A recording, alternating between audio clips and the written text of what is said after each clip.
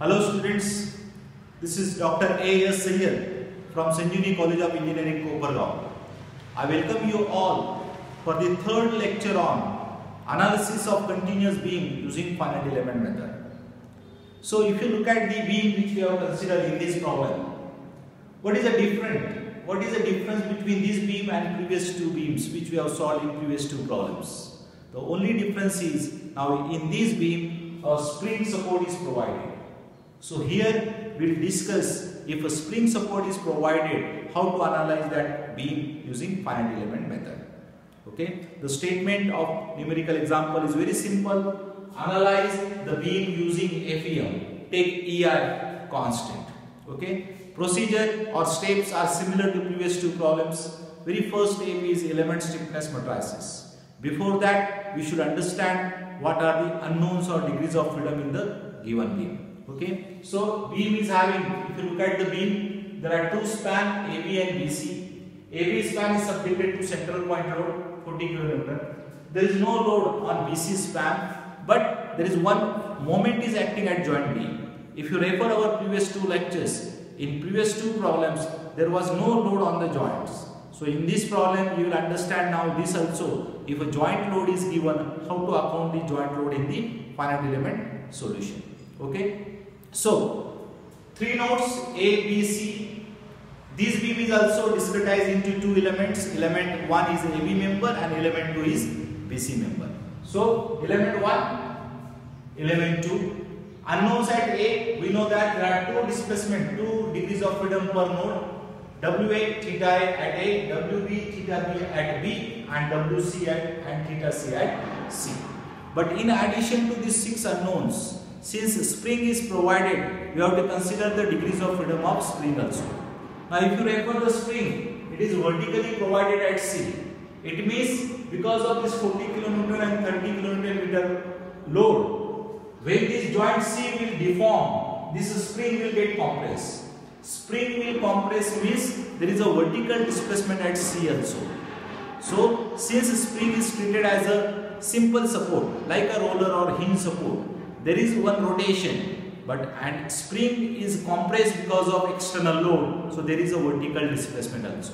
It means in this problem wc and theta c both are unknowns okay? Only since support a is fixed wa theta a are 0 since support b is a roller wb is equal to 0 but in spring support both the displacement WC and theta C are non-zero. So in this problem there are three final unknowns.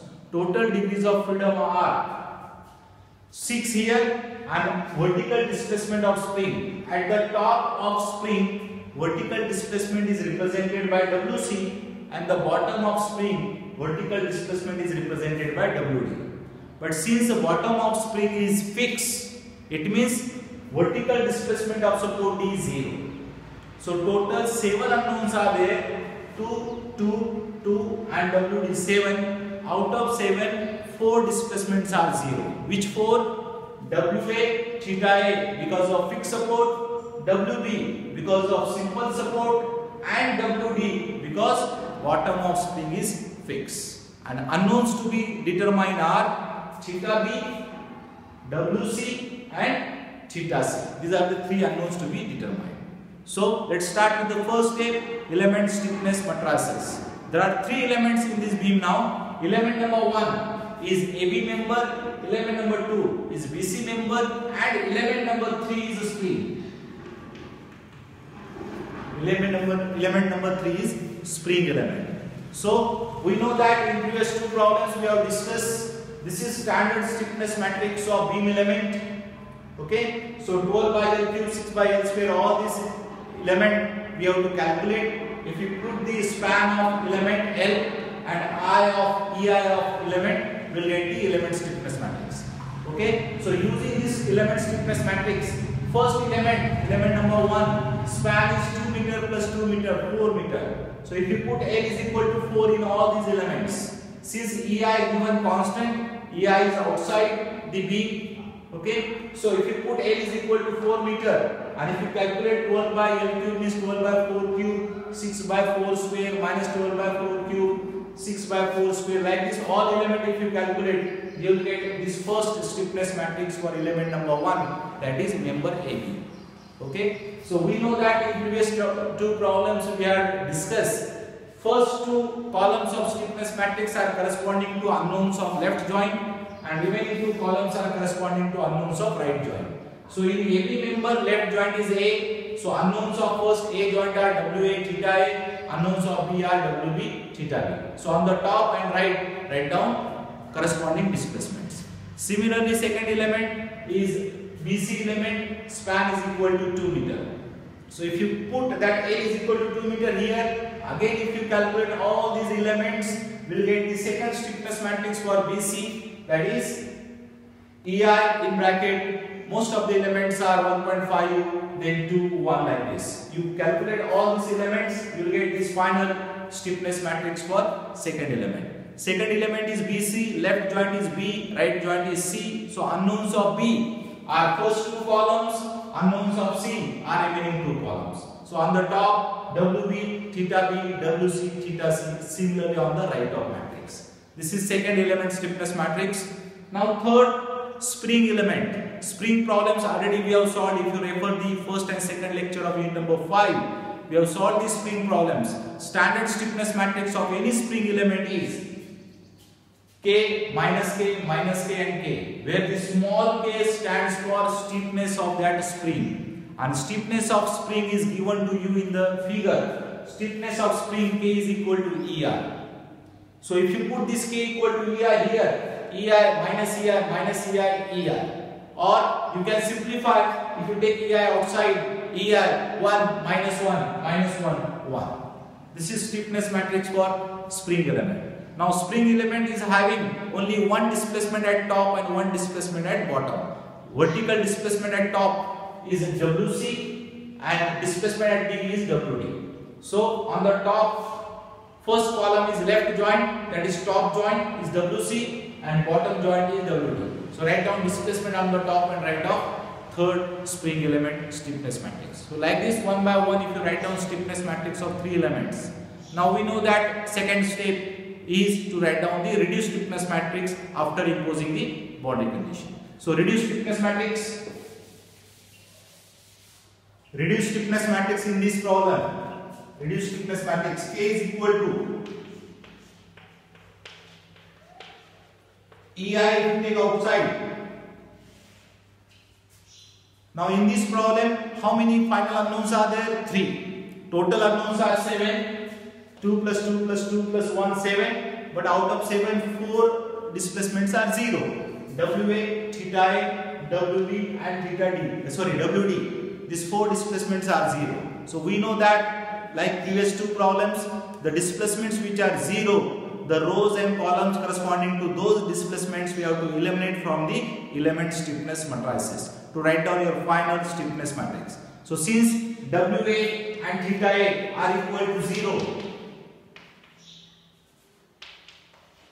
WA and theta A are equal to 0. Eliminate WA and theta A. WA and theta A, row and column from the first stiffness matrix. We know that WB is also equal to 0 because there is no vertical displacement at roller support. So WB row and WB column we have to eliminate. So only one element is remaining in first stiffness matrix that is theta B. Now if you impose the boundary condition in second element stiffness matrix. In second element stiffness matrix we know that WB is equal to 0. WB equal to 0. So if you eliminate that column and that row corresponding to WB. Now remaining three displacements theta B, WC and theta C. All three displacements are non-zero. Those displacements we have to calculate. There is only one displacement in second element 0 and that is WB. So keep this all displacement as it is. So this is the remaining elements. Remaining elements from the second stiffness matrix. Okay. In third stiffness matrix, we know that when the load is acting vertically downward at C, the point C will goes vertically downward. Spring will compress. But when spring will compress, only vertical point is coming down. The bottom is fixed. Bottom of spring is fixed. It means vertical displacement at point D is equal to 0. So WD is equal to 0. So eliminate that column and that row. So there is again one element is remaining in third stiffness matrix. That is 1. So like this impose the boundary condition to write down final reduced stiffness matrix. Now we will write final reduced stiffness matrix. Order of this stiffness matrix will be 3 by 3 because now unknowns are 3. So first unknown is WC, theta C, sorry, theta B, WC and theta C. Theta B, WC and theta C. These are the three final unknowns. Now we have to collect the elements corresponding to all these displacement. So first element theta b theta b theta b theta b in first stiffness matrix it is 1 and in second stiffness matrix theta b theta b it is 2. So 2 plus 1 it is 3. Now WC column WC and row theta b this combination column WC and row theta b column WC and row theta B that is minus 1.5. Then column theta C and row theta B. Theta C and theta B. Theta C and theta B. It is 1. We know that stiffness matrix is symmetric matrix. So first row is equal to first column. So it is minus 1.5 and 1. Now next element is this element.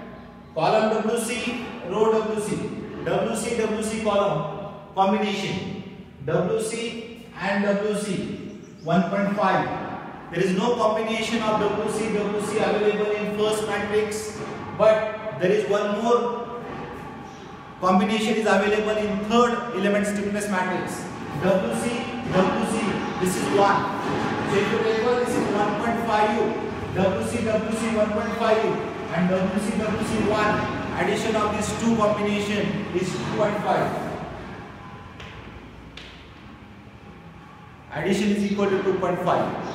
Third, now this element column theta C and row WC. Column theta C and row WC. It is minus 1.5.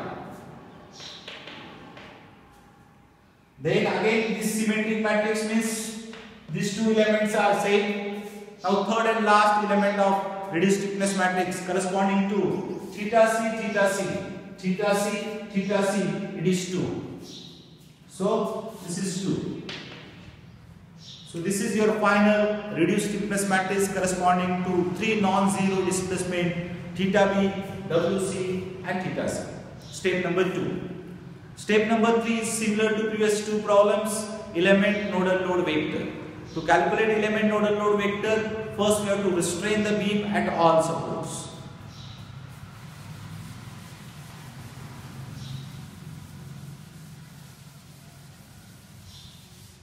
So restrain the beam at all supports means fix the beam at all supports. So element number 1 and element 2.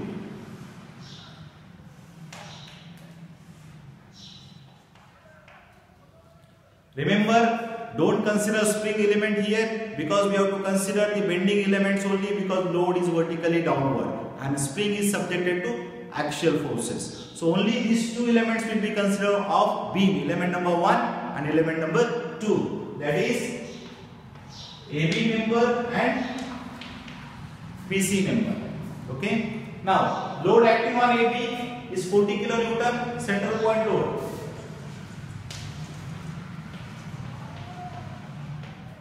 40 kilonewton central point load. There is no load on BC member. Okay. Now there is one load which is acting at joint B, 30 kilonewton meter moment in clockwise direction. But remember the forces which are acting at the joints will not contribute anything towards the fixed end moments. Okay. So those, that force, this force will not come in this picture, in these two figures. Because these are the figures or, members subjected to member forces. Any load which is acting on the member that we have to consider here. Any force which is acting on a joint that we have to consider in third, fourth step of equivalent load vector. So this 30 kilonewton meter force we will consider in equivalent load vector. So here the force on first member is 40 kilonewton at the center dimensions are 2 meter 2 meter and there is no load on the second element. Okay, now calculate fixed end moments and reactions in these two elements. So fixed end moments in first element load is point load acting at the center. So fixed end moments are WL by 8, WL by 8. Left end anti-clockwise, right end clockwise. Okay, so WL by 8, 40 into 4 divided by 8. If you calculate this, the answer is 20. Fixed moments are 20. Now calculate the reactions. Reactions are always in two parts. First reaction due to external force plus reaction due to moments. Reaction due to external force. External force is 40 kilonewton acting at the center. So reactions will be W by 2, W by 2. So it is 20 and this is 20. Now reaction due to moments, sum of moment divided by span. We have to add two moment and divided by span, will get the reactions. But sum of moment plus 20, anti-clockwise means plus and minus 20 that is clockwise. Plus 20 minus 20, sum of moment is 0. If sum of moment is 0, there is no reaction because of moments. So first element figure is over. Now in second element, since there is no load acting on the element, the fixed moments will be 0. If fixed moments are 0, there is no load on the beam, it means reactions are equal to 0. Reactions are equal to 0. Now using these two figures, we have to write down element nodal load vector.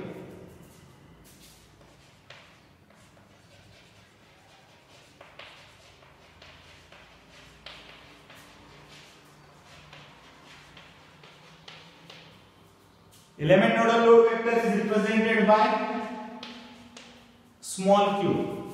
So,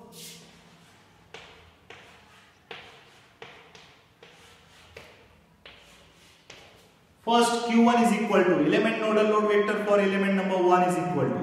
First on the right part of this vector write down corresponding displacement.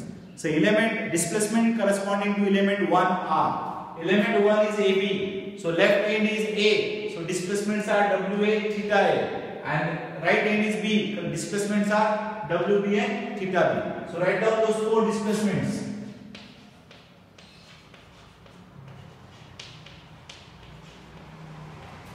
These are the displacement corresponding to element 1. Now what are the forces corresponding to this displacement? If unknown displacement is W, corresponding force or corresponding action is reaction. So corresponding reaction corresponding force is Ra.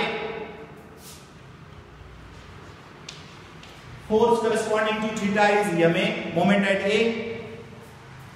Then force corresponding to WB is reaction at B and force corresponding to theta B is moment at B. So to collect the element R, reaction at A, Ra, Ma, Rb and Mb. So reaction at A first reaction at A is 20. Moment at A anti-clockwise means plus 20. Reaction at B plus 20 and moment at B clockwise is minus 20. So this is element nodal load vector for element number 1. Similarly element nodal load vector for element number 2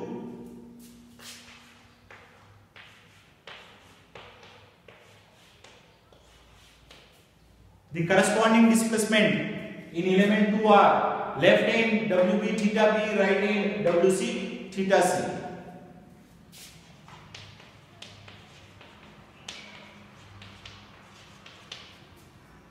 Corresponding actions, corresponding forces are now, if it is WB, corresponding force is reaction at B, theta b corresponding force is moment at B, then WC corresponding force is reaction at C, and theta C corresponding force is moment at C. Now in second element if you look at, since there is no load, all fixed moments and reactions are zero. So this is very simple, all four elements are zero in this second element nodal load vector. So this is third step, find out element nodal load vectors. Okay. Now we have to write down final element nodal load vector Q.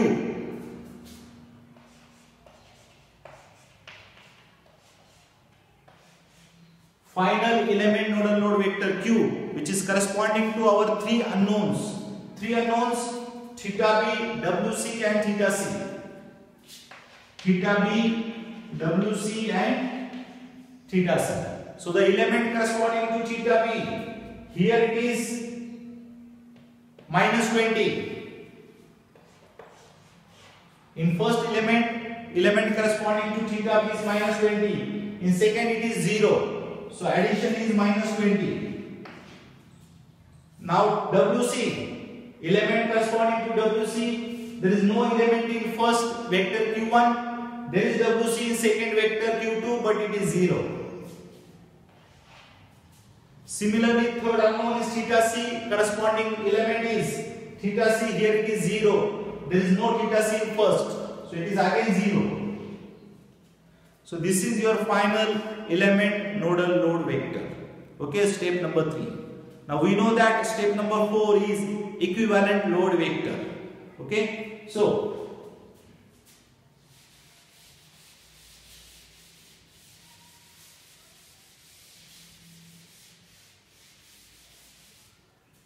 equivalent load vector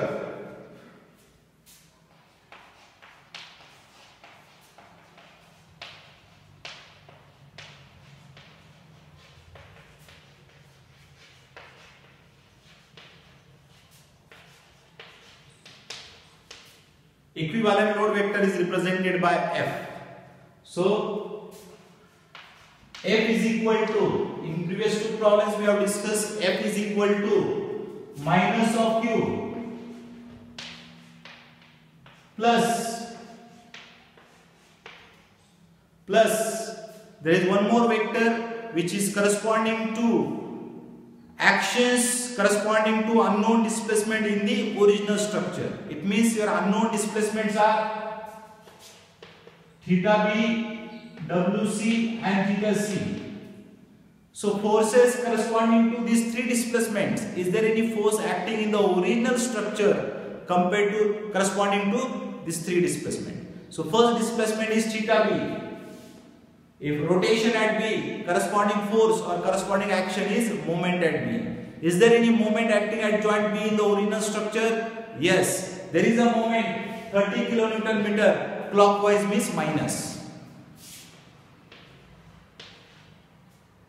So now this nodal load will come in equivalent load vector, right? So since first unknown is theta b, corresponding action is moment at b. In the original structure, there is a moment at b that is clockwise means minus 30.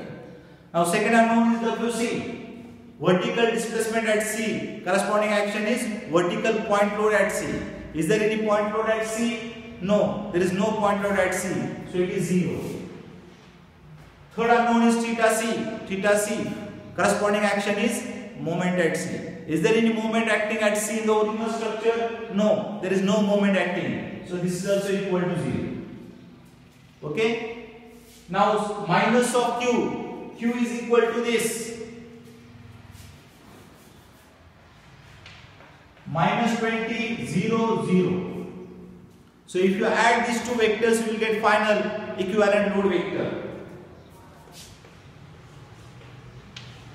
So final equivalent load vector is minus 20 minus 30 is minus 50. Minus 20 minus 30 is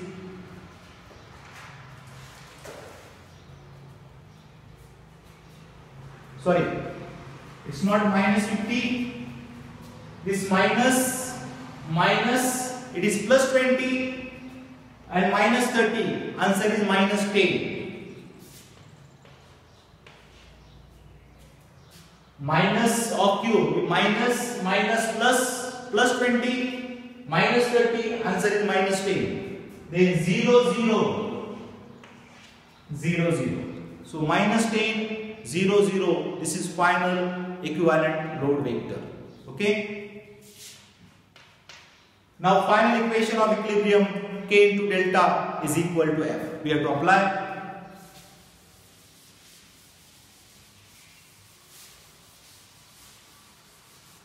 So,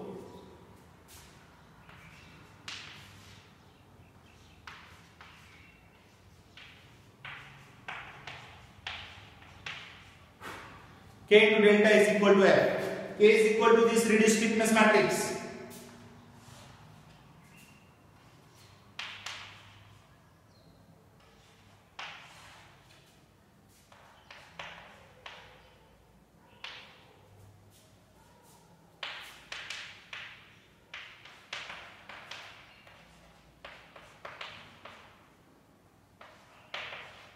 K is equal to reduced stiffness matrix into delta vector of unknowns. Delta is equal to vector of unknowns equal to F. F is equal to this minus 10, 0, 0. This is final equation of equilibrium. Now it's a matrix form of three unknowns. So if you reduce this into three simultaneous equations and if you put in your calculator you will get the final answers for these three unknowns. So final answers for these three unknowns are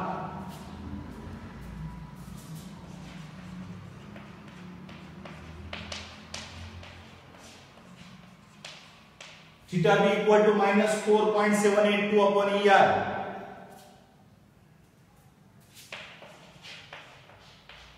WC is equal to minus 2.608 upon ER and third theta c is equal to 0.